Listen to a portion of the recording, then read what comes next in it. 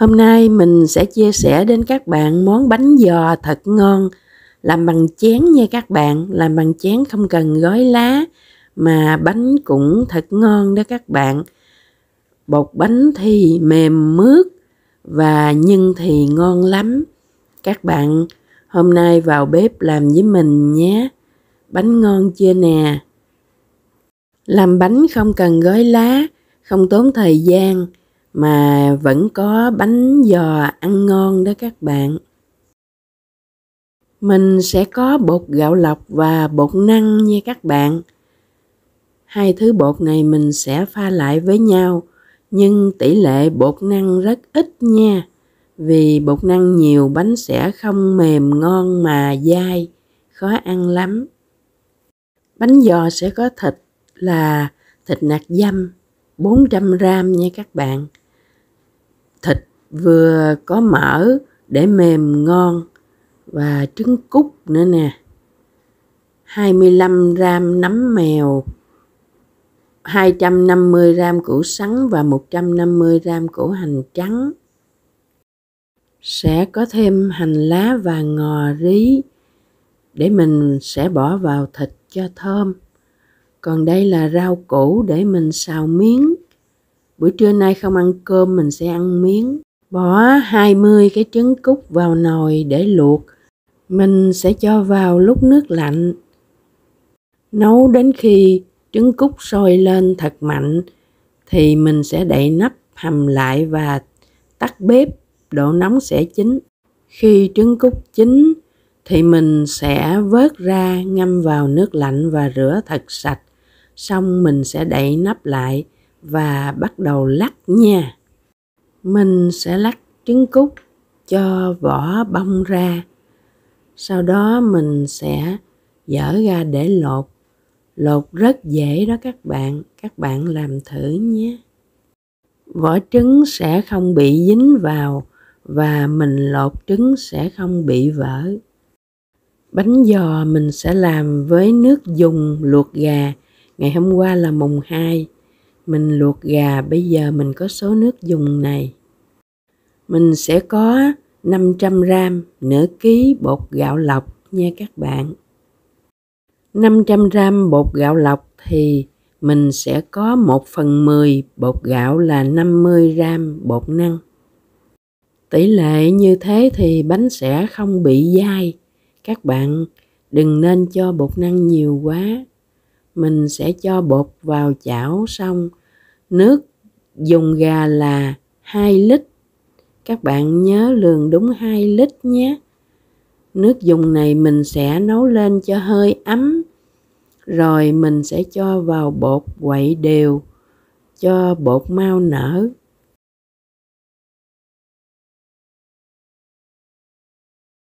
Sẽ cho từ từ nước vào bột và quậy lên cho đến khi bột tan hết.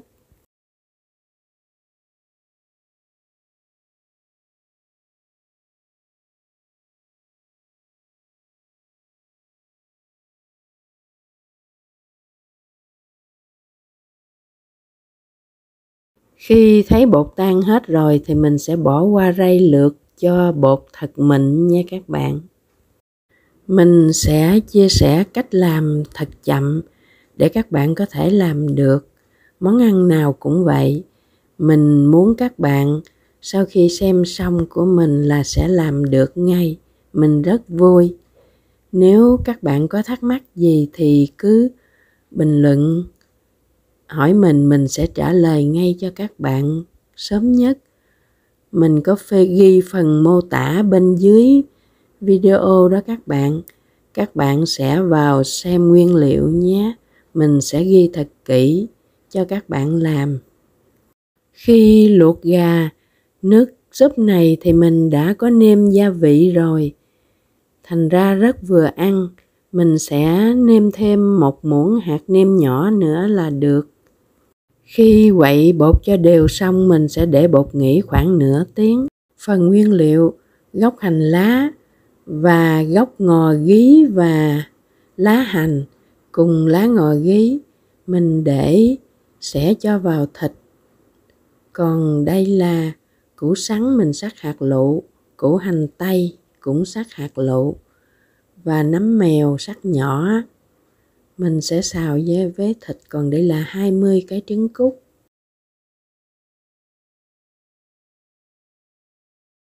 Sẽ chuẩn bị để nêm thịt. Mình sẽ cho vào một muỗng nhỏ hạt nêm.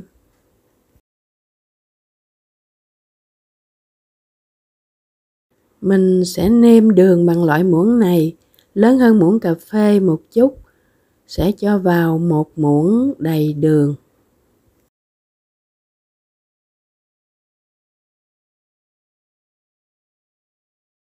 Một muỗng sữa chua bột ngọt.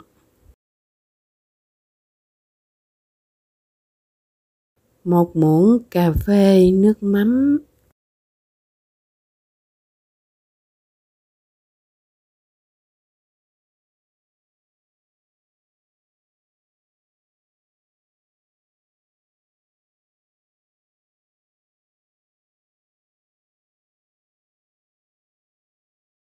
Một muỗng sữa chua tiêu xay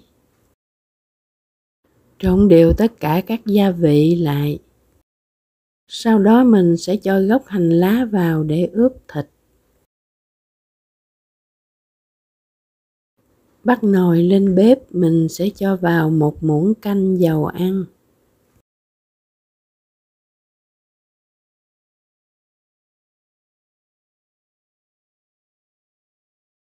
Cho vào bốn củ hành tím nhỏ băm nhuyễn. Phi vàng hành tím lên, sau đó mình sẽ cho thịt vào để xào cho thịt được săn lại.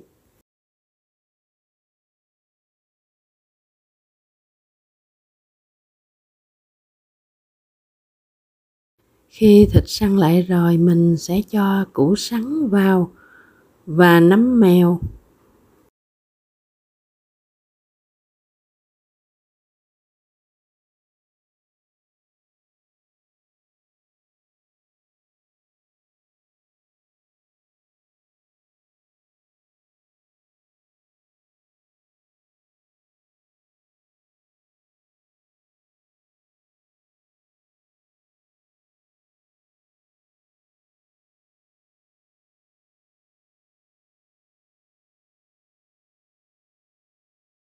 Xào cho nấm mèo và củ sắn vừa chín, mình sẽ nêm thêm một ít gia vị nữa.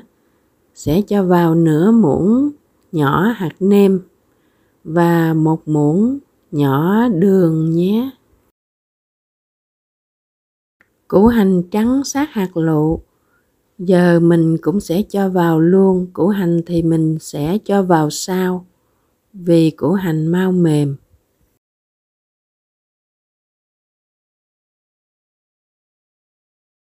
Gốc ngò gí và lá hành.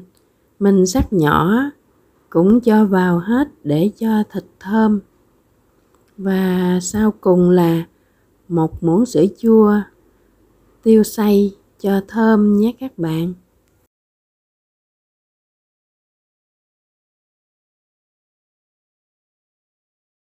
Như vậy là mình đã xào xong chảo nhân rồi đó mình đã để bột nghỉ khoảng nửa tiếng rồi. Bây giờ thì mình sẽ bỏ lên bếp để quậy bột nha.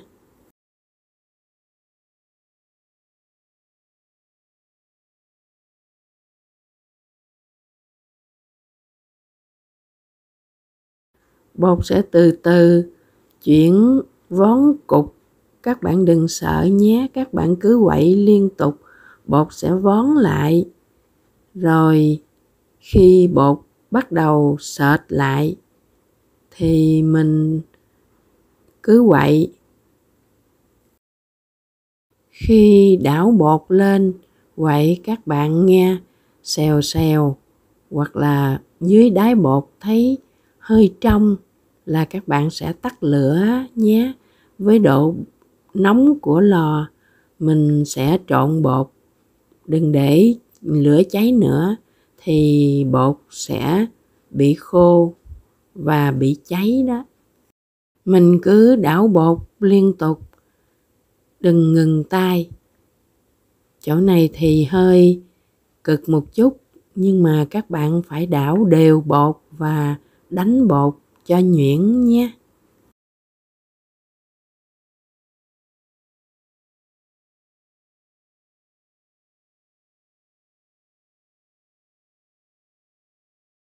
Mình sẽ nhắc chảo xuống ra khỏi bếp và để ra ngoài để mình tiếp tục đánh bột cho nhuyễn. Mình sẽ đánh bột từ từ cho các bạn xem chứ không tua nhanh.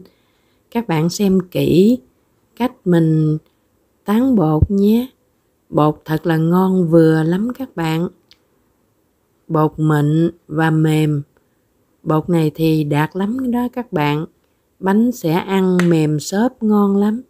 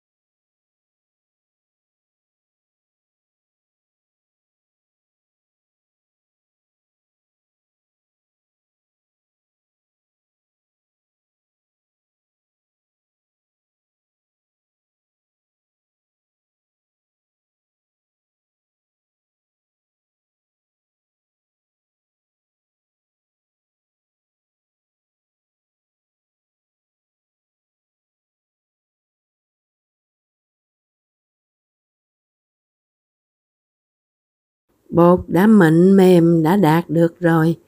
Mình sẽ để đây và đi chuẩn bị nồi để hấp bánh. Sẽ bắt nồi nước lên. Sẽ nấu cho thật sôi nha các bạn. Rồi mình mới bỏ bánh vào hấp. Sau đó sẽ đi chuẩn bị một chén dầu và một cái cọ sạch chuyên để mình trét bánh. Mình sẽ cho dầu mình phết vào chén để bánh đừng dính chén nhé.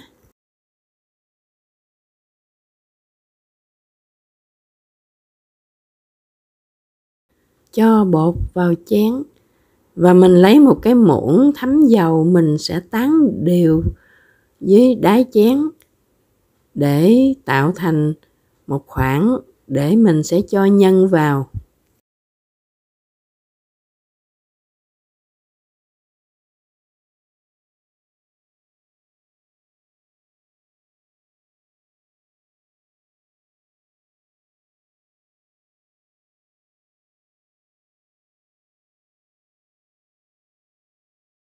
Múc một muỗng nhân cho vào. Xong thì mình sẽ cho hai cái trứng cút vào giữa nhân đó.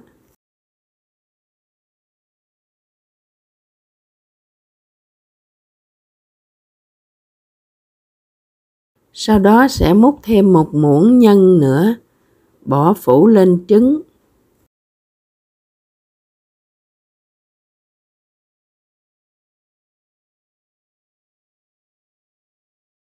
Rồi sẽ múc bột phủ lên trên mặt nhân. Cũng sẽ dùng muỗng, thấm dầu để tán bột ra. Sẽ tán đều, dàn đều trên mặt chén. Khi nào thấy bóng mịn và phủ kín hết là được.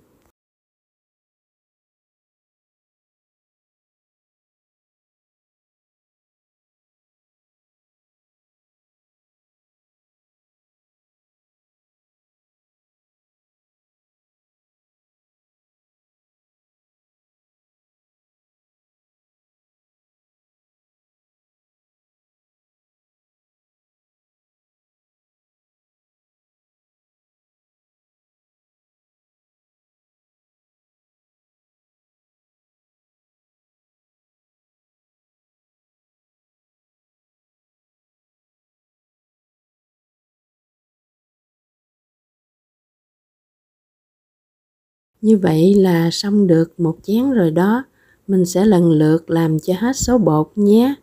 Sau khi làm xong thì nước sôi mình sẽ chuẩn bị hấp nha.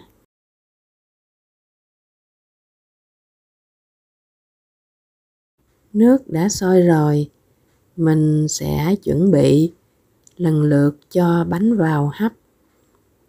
Phần dưới mình sẽ hấp được 3 chén.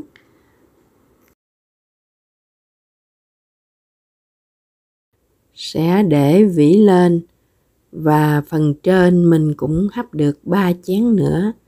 Sửng này là mình sẽ hấp được 6 chén. Số bột nửa kg này mình hấp được 12 chén đó các bạn. 11 chén đầy và một chén lưng. Sau khi bỏ vào đậy nắp hầm lại, các bạn sẽ hấp trong vòng 30 phút.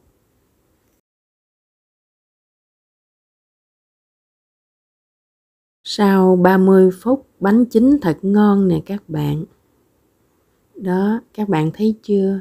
Mềm, bóng mượt, ngon lắm. Mình sẽ chuẩn bị cho ra thành phẩm để các bạn xem nhé. Bánh thật là nóng. Mình sẽ cho ra ngoài để nguội rồi mình mới lấy ra ngoài đĩa được.